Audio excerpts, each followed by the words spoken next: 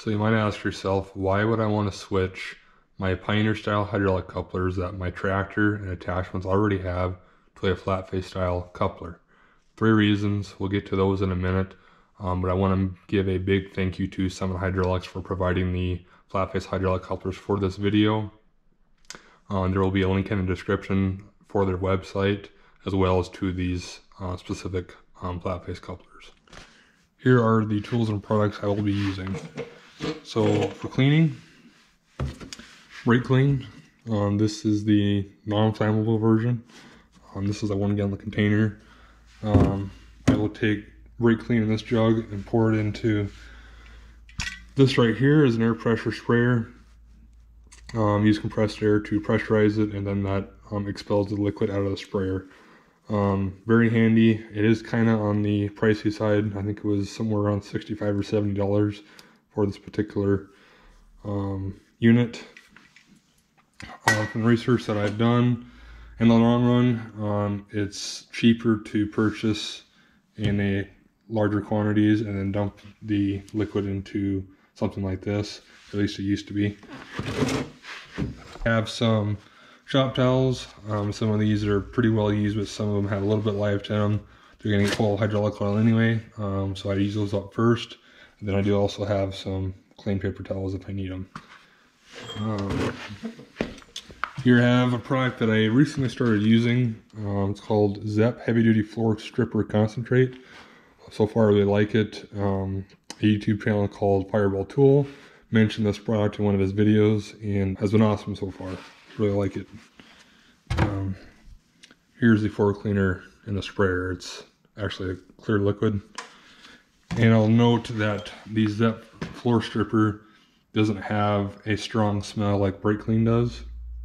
However, it doesn't almost instantly degrease like brake clean does. Um, have some kind of a uh, pan or something like that to catch any oil that may get past your rags so it doesn't drip on your floors to help with cleanup. Um, for wrenches, we have a 16 millimeter, 19 millimeter, 21 millimeter, 13 sixteenths, and 7 eighths. And I also have a um, flat face screwdriver to remove the plugs out of the um, couplers. So the three reasons to consider for switching to the flat face style coupler are one, fluid loss, two, contamination, and three, cleanliness. Now I'm going to demonstrate the fluid loss difference between the Pioneer style coupler and the flat face coupler. Hopefully the camera will pick this up, but so I'm going to disconnect the flat face first, and then I'm to disconnect the Pioneer. So with the flat face, is simply pull back on the collar, pops out. Hopefully you can see the difference. Now I'm going to do the Pioneer. I'm purposely not going to have a rag just to show the fluid loss difference.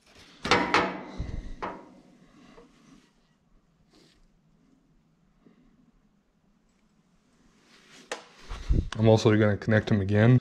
So Pioneer, stick your male in, in like this, pull the collar back, stick it in. Now you're connected, flat face. You notice I don't have my hand, not gonna have anywhere near this collar, simply just gonna push in the male. Just like so. Contamination.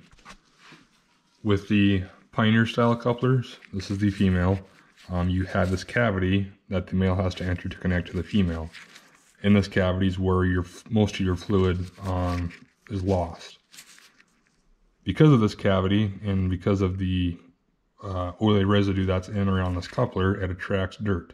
Now, obviously you do have this little plug here to help um, reduce the amount of dirt that enters this cavity. Anytime you can minimize the amount of dirt or contaminants in your hydraulic system, the better. Okay, as far as installing these couplers, there's nothing special that you have to purchase like a bushing. Um, you would simply just unthread the Pioneer and then thread on the flat face.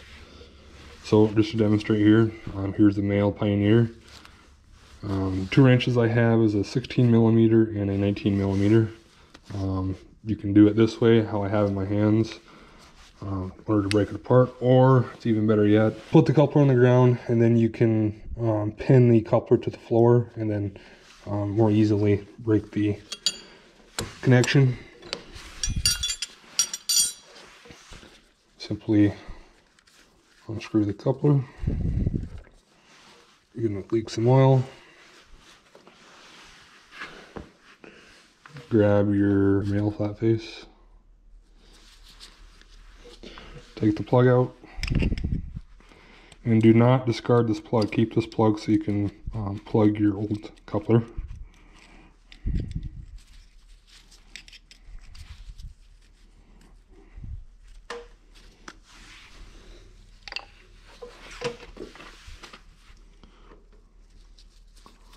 Thread it on.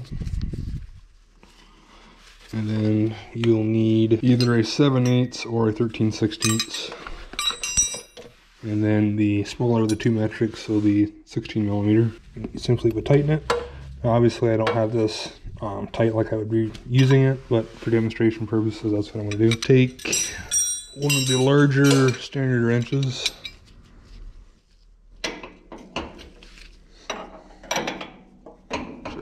this one here, and then so it's a 7 8 is what I have.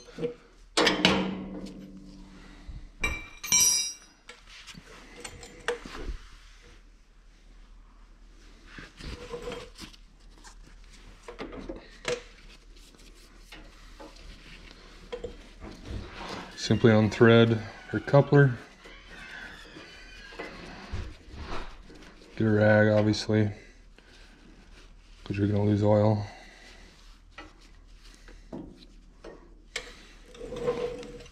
Then take your female flat face, like here. Take the plug out. Again, save the plug.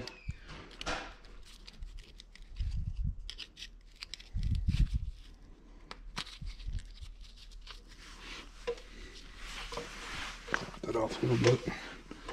And then thread on this coupler.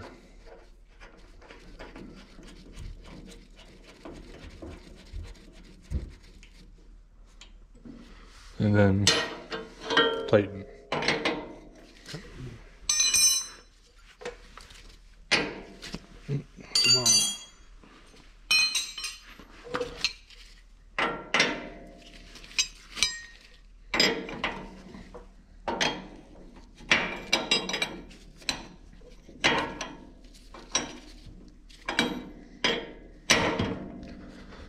Obviously this isn't as tight as I would have it if I were to use it, but for demonstration, just gonna do that.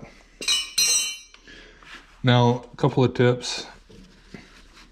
Um, when you, if you were to go to replace all of these um, couplers, you'll want to take off this panel because you will not have enough room in order to um, move their inches the way you'll need to. Where the collar is and where this um, little cutout is in the collar and this pin, you want to make sure you can visibly see that because in order to disconnect the coupler, you have to make sure that that um, cutout and that um, detent, that pin there, are in line in order to disconnect.